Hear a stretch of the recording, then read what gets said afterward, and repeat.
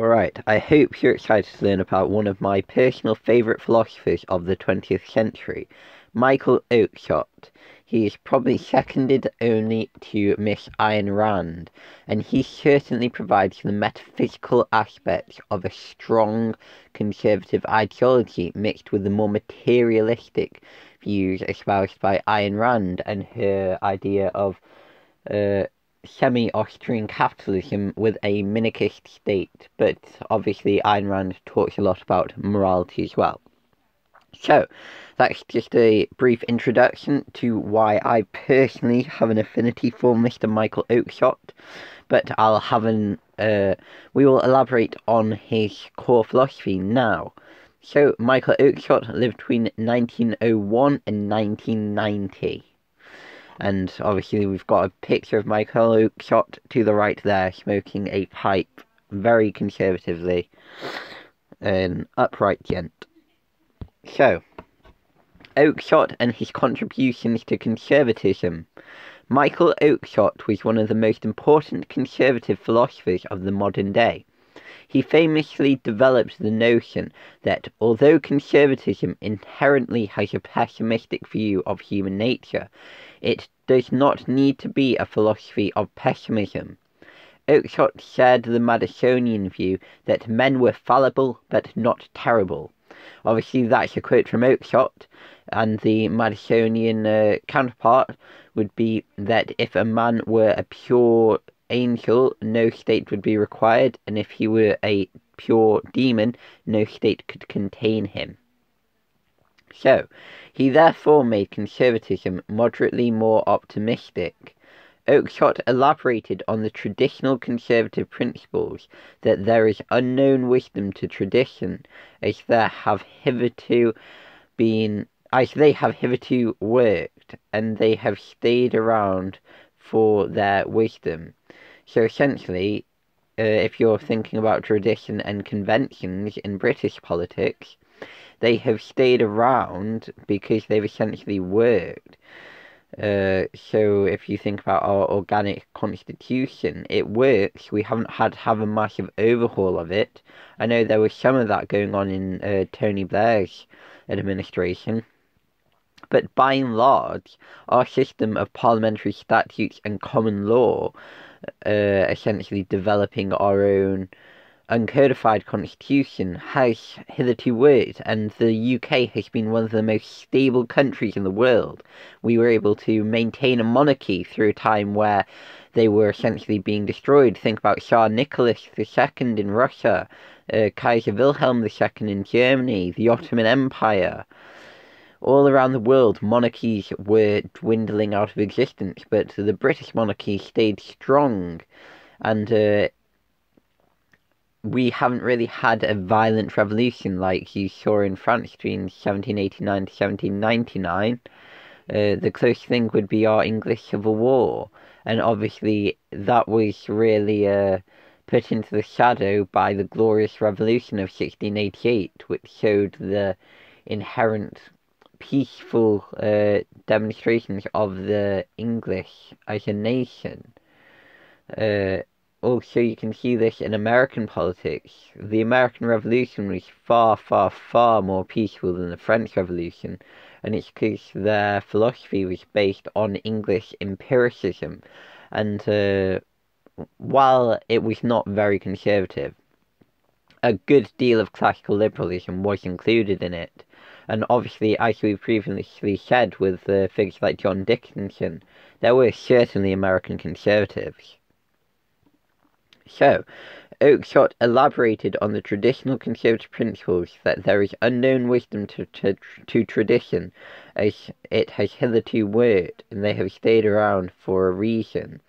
This is best summarized by the Bertrand Russell quote that not all change is progress, and I think that's very profound. You should probably uh, memorize that and include it in your essays, because when you're talking about stuff like socialism and arguing uh, conservative thought against it, although I do not believe Bertrand Russell was particularly conservative, it's uh, a very good quote to have in mind because is all change really progress? does it lead to moral degeneracy and the ultimate uh, destruction of the state from within, where it will be soon replaced by a more oppressive and authoritarian one from a foreign nation? That is the question. Essentially, we do not know the consequences of uprooting these traditions, so it is wise to keep them, as their removal may undermine the social order. And essentially, we do not know the consequences of their removal. They've worked so far, but the progressive who wants to get rid of all these old traditions, like uh, the institution of marriage, or essentially women's only spaces in the case, in the case of transgenderism, and uh, biological males wishing to use female uh, restrooms. The progressives want that. I personally disagree. Uh, but the thing is, what is the consequence? What is the consequences of removing uh, women's only spaces? Well, if you know anything about Loudoun County, you, probably would take my side, but nonetheless, I don't want to get banned, so let's go on with Oakeshott. Conservatives and their lack of idealism. Oakeshott argues that conservatism is a disposition in some individuals, as progressivism is a disposition in others. So essentially, some people are uh, essentially naturally conservative.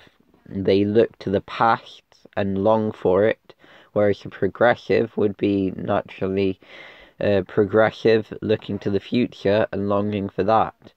Both of them not really uh, taking into account the negative aspects of the past or the negative possibilities of the future where their desired change to come into effect. He claims that there are some who automatically value the past over the present, even a past that they have never experienced, and they can feel this way from a young age, which is why he calls these kinds of people custodians of the museum, and I uh, personally love that term. So they are inherently hesitant to change and fear the uncertainty of the future hence why they prioritize the stability of the past. Oakeshott argues that this conservative disposition of the custodians is rooted in their rejection of political ideals. Conservatives prefer present laughter as opposed to the possibility of future euphoria.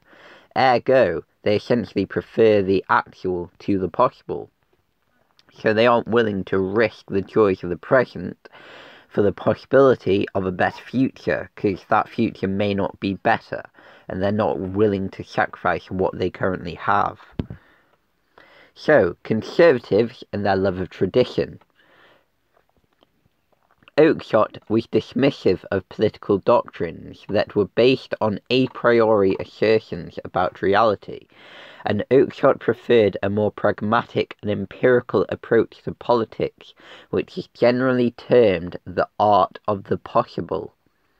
This approach gives conservatives the impetus to preserve tradition as it has come about through trial and error in an organic manner very different to ideologies that rely on idealism, such as socialism and anarchism, which intend to apply a political ideal to reality that has not yet been tested, but merely presumed to work.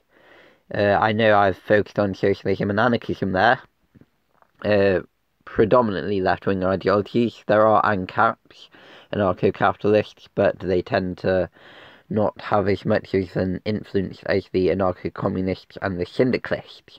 But I suppose, uh, although I do admire Ayn, Man, Ayn Rand a great deal, her political philosophy is very idealistic in places, and we do not know whether it will actually work in reality. As like uh, a lot of these other ideologies, it relies on a priori reasoning, uh, the reason for that being that it is dependent on Austrian economics. Uh, so the Austrian economics essentially is common sense applied to economics. We'll get into it a, at another time, but it's very important to understanding conservatism, especially in the 20th century. So, Oakeshott and the nautical metaphor. Oakeshott believed that the state existed to prevent bad behaviour as opposed to creating good behaviour. Therefore, the Oakeshottian view essentially supported a Night's Watchman state that merely prevented criminal behaviour with no attempt to guide citizens morally. So, a state that preserves negative liberties as opposed to positive ones. That's a uh, staunch difference between libertarianism and classical liberalism compared to modern liberalism, like we talked about last time with John Rawls and his advocacy of positive liberties as opposed to the traditional uh, classical liberal and libertarian view of negative liberty.